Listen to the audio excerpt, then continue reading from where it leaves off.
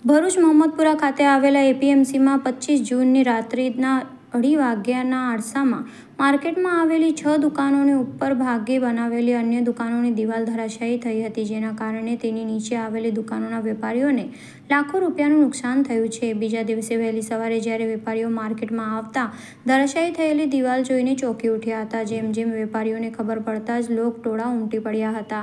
જો આ બનાવ રાત્રિના સમયની જગ્યા પર દિવસમાં બન્યો હોત, તો મોટી જાનહાનિ થવાની સંભાવના રહેલી હતી. ઘટનાની જાણ થતાં જ રાષ્ટ્રીય વિકાસ કિશન સંઘના રાષ્ટ્રીય અધ્યક્ષ અરવિંદ રાણા અને વેપારીઓ એસોસિએશનના પ્રમુખ રશીદ ખુશાલ સહિતના વેપારીઓ સ્થળ પર દોડી આવ્યા હતા. આ સમયે રાષ્ટ્રીય વિકાસ કિસાન સંઘના રાષ્ટ્રીય અધ્યક્ષ અરવિંદ રાણાએ અહીંયાના એપીએમસી સામે ભ્રષ્ટાચાર આક્ષેપ કરતા જણાવ્યું હતું કે, આ દુકાનોનું બાંધકામ કર્યાને માત્ર આઠ મહિના જેટલો સમય થયો છે. તેમ છતાં આ દુકાનોની દિવાલ ધરાશાયી થઈ જતા ભ્રષ્ટાચારના આક્ષેપો કર્યા હતા. આ સાથે વેપારીઓ લાખોનો ટેક્સ ભરતા હોવા છતાંય સાફ સફાઈ પણ નહીં કરાતી હોય, વેપારીઓમાં રોગચાળાનો ફેલાયો છે.